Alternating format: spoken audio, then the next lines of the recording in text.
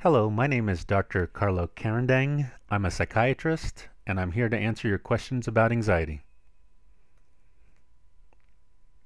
We have a question from a person named Guy in Montreal, Quebec, Canada, and he asks, the release of cortisol during the fight or flight response occurs at the end of what pathway? To answer this question, cortisol is released at the end of the hypothalamic pituitary adrenal pathway, which is located here on the right side of the diagram. So you see here, cortisol is released, and here, this part of the diagram is the hy hypothalamic pituitary adrenal axis. So let's go through the fight or flight response. The fight or flight response is initi initiated by fear. So when fear is perceived, a part of the brain call, called the amygdala is activated. When the amygdala is activated, it activates two systems in the body.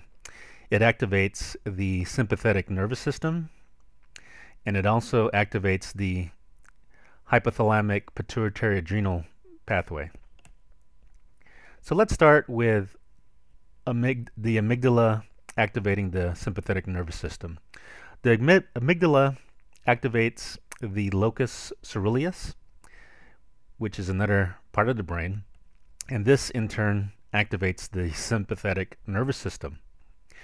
So the sympathetic nervous system is part of the autonomic nervous system which which controls the various body organs in your body. And this is under involuntary control, meaning it is controlled without your conscious awareness. So when the when fear activates the amygdala, then it activates the sympathetic nervous system. What happens is two things with the sympathetic nervous system. The sympathetic nervous system activates smooth muscles and glands via neural, neuronal, neuronal connections, and it also activates the adrenal medulla. So the adrenal medulla are glands, two glands that actually sits on top of the kidneys. So the adrenal gland, in the adrenal gland contains the adrenal medulla, which is the inside of the, of the adrenal gland, and the adrenal cortex, which is the outer part of the adrenal gland. So the sympathetic nervous system activates the inner part of the adrenal gland, the adrenal medulla, and this in turn releases adrenaline and noradrenaline into the bloodstream. The amygdala also activates the hypothalamic pituitary adrenal system pathway, and this activates the hypothalamus, another part of the brain, which then activates the pituitary gland via the hypothalamus releasing cortisol releasing factor to activate the pituitary gland. This in turn activates the pituitary gland to release adrenocorticotropic hormone. This then travels in the bloodstream to the adrenal cortex, which again sits on top of the kidney. And the adrenal glands um, the outer part of the adrenal glands is the adrenal cortex. And then cortisol is released from the adrenal cortex, and this is released into the bloodstream.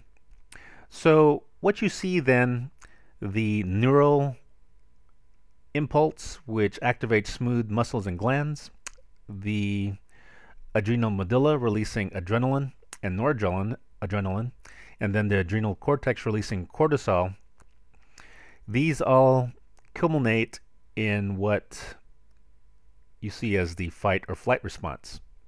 So fear induces this fight or flight response, which makes you highly alert, makes your heart race, makes your heart beat faster, makes you breathe faster, makes your muscles tense. So basically this gets you prepared for either fighting the danger or for running away from the danger.